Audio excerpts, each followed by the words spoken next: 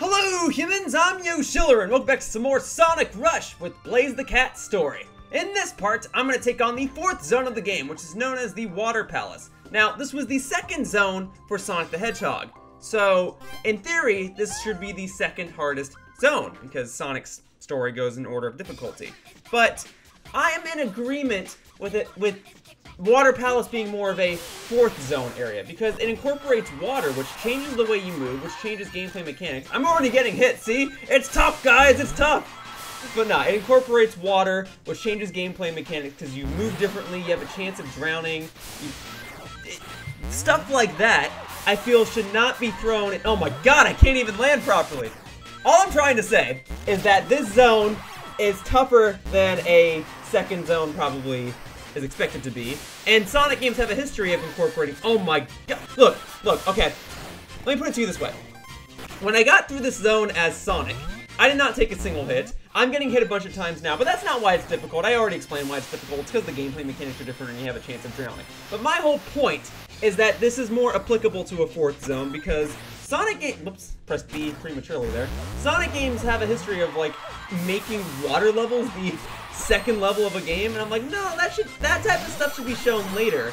You're already twisting gameplay mechanics when you do that. That's stuff for like midway through the game to mix things up, not for immediate use. Like Sonic 3, Hydrocity, or Hydrocity, however you want to pronounce it, is the second zone of the game. And I don't know about you guys, but I think that zone is tougher than most other games. There we go. You do a trick into those propellers, you really go flying. Take that. Top route. Here we go. Anyway, Hydro City, or Hydrocity, whatever, is the second zone in Sonic 3. But it's like the seventh or eighth zone in Sonic Mania, and in Sonic Mania, yeah, that makes more sense to me. That zone is probably tougher than other places because water's so different. Whoops, I passed the goal ring. But hopefully that's still a good score. 120 plus rings, beat the level. Didn't beat it in under a minute 30 seconds. I kept getting hit. I probably could have done so had I not kept getting hit. But let's see how I did. Oh, actually, I think even though I got hit three times, yeah, that's an S rank score. Boom! So I got hit three times and messed up on one or two other level aspects, but I still got the S rank, so maybe the zone is easier than I thought. In fact, it is easy. Okay, this is a shorter zone than most, so yeah, it's not like this zone should be zone 7 in the game. Nuh-uh, not when zones like high altitude exist in this game. But, I do think that it being the fourth zone, that makes a bit of sense. It's fun, it's cool, it's a water level that I actually enjoy and the music is catchy, especially this blazing mix. Mm, I love it so much. That's all I really wanted to say for the sake of this gameplay, that this zone, well, it's not super difficult. I, I think it's harder than other zones in the game, and that it probably should have come third or fourth in terms of zone order in the game. And I know that in other platforming games, the water zone or the water world is usually the third or fourth zone. So, on the one hand, I should be thankful of the Sonic franchise for mixing that up. Hang on, I actually gotta like slow down here. I remember this from Sonic's. From when I played through this level as Sonic. I actually gotta jump here. Okay, and then I gotta be careful toward the end of the level because that's where there's a bunch of floating platforms in the bottom of this pit.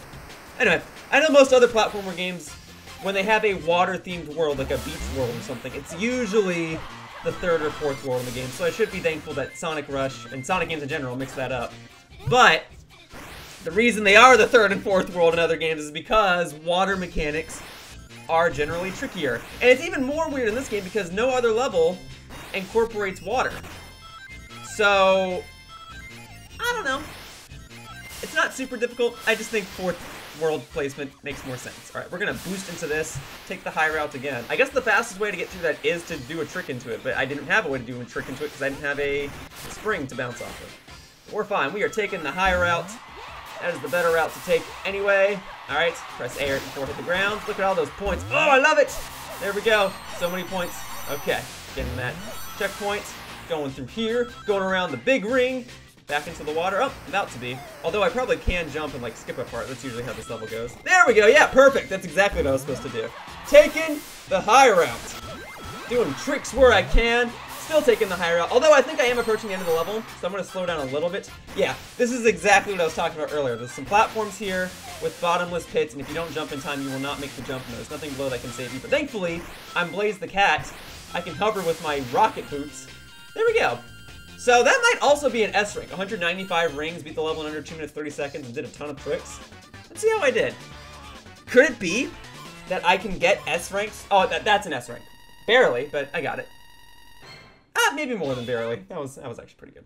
But could it be possible that I can get an S rank on all three aspects of the zone, Act 1, Act 2, and the boss fight? I'm on the way. I haven't done that in this game yet. I haven't gotten S ranks on all three things. I've gone S ranks on like the first level in the boss or the second level in the boss or I don't think I've had a scenario where I've gotten the first two levels and not the boss. So that's why I'm excited. Although I hope I'm not jinxing anything. Let me knock on the wood. Okay. Doing that was trickier than it probably should have been. Knocking on wood and dodging that. Okay.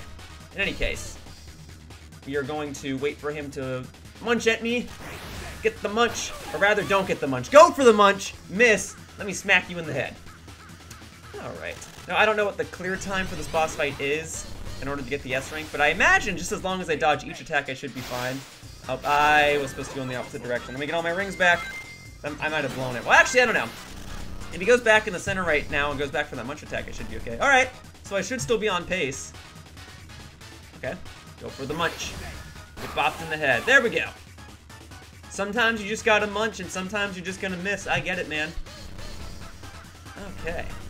So, in any case, it's it's it's just gonna be rinse and repeat. No pun intended with the word rinse because we're in water, but it doesn't really matter too much because although the water does make me move a bit differently, I actually can't drown here.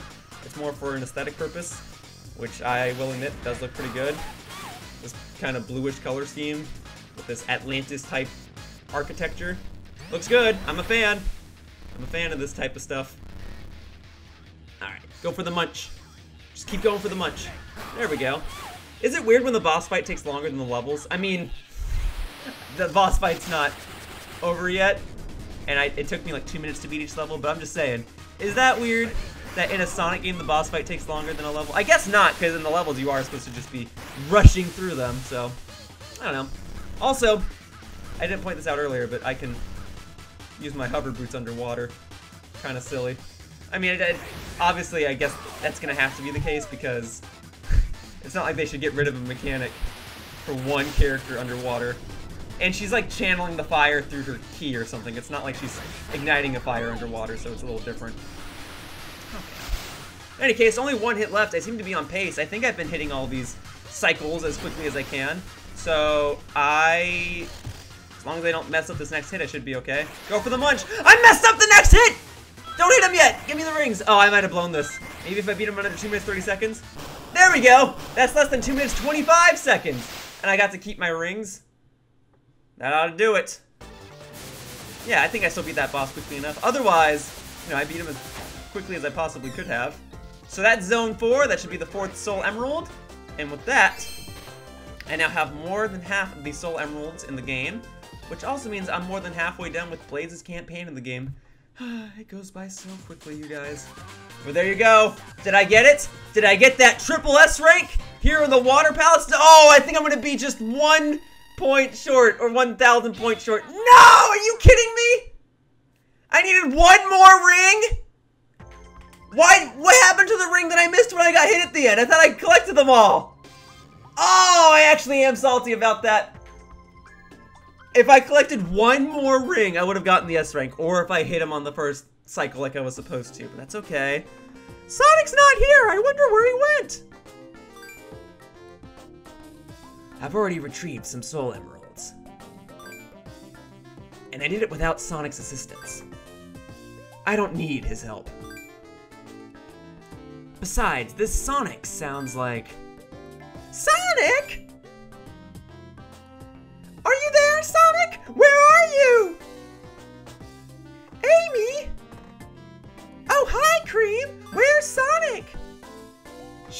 Another person ranting on about Sonic. I'm looking for him too, but... So he's not around? Darn it! I realize my voices for them are too similar. Um, who is she? This is Amy! She's a really energetic girl who loves Sonic. But she can be a bit short-sighted in that regard. Cream, we better have a little talk.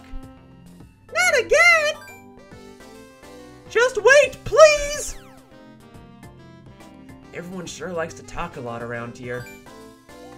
But I'm not getting any negative vibes. So, who's she?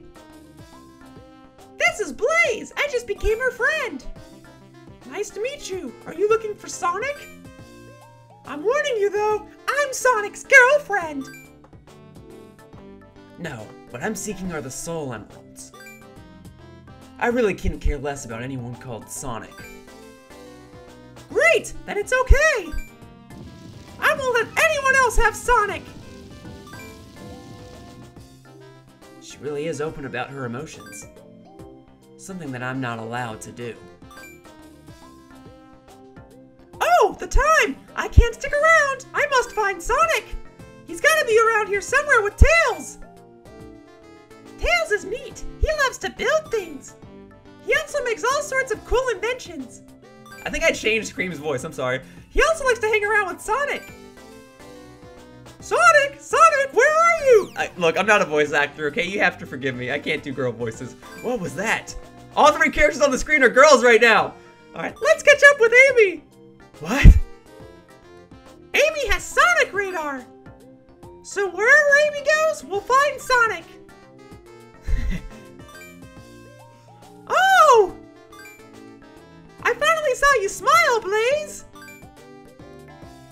What? Me? I'm so happy. Now let's go!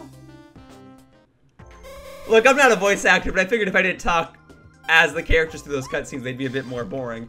But alright, it's fine, it's whatever. Blaze the Cat got to meet Amy Rose. Alright, so the next zone of the game is Zone 5 for Blaze the Cat, which is known as High Altitude. That's normally Zone 6 in Sonic's campaign. So for Blaze the Cat, Zone 5 and Zone 6 are swapped. Point is, it's a difficult level, but I think I'll be able to get through it. For now, that wraps up this part of Sonic Rush, and I'd like to thank you all for watching. I hope to see you all in future videos. Bye-bye, humans! Whoosh!